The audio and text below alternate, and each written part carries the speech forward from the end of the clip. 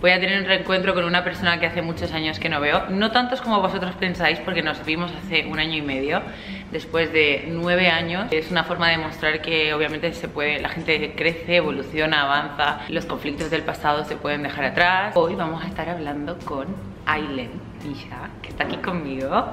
¿Ya puedo entrar? ya puedes entrar. Hola. Hola. Hola de nuevo. Bueno, Nos saludamos fuera de cámara, pero no No hace falta que te pregunte cuál fue tu primera impresión mía, porque ya la tengo clara. Yo creo que las dos tuvimos una primera impresión ¿De- que- de aquel momento? De aquel momento que no es para nada la que tengo ahora yo de Sí, ti. totalmente.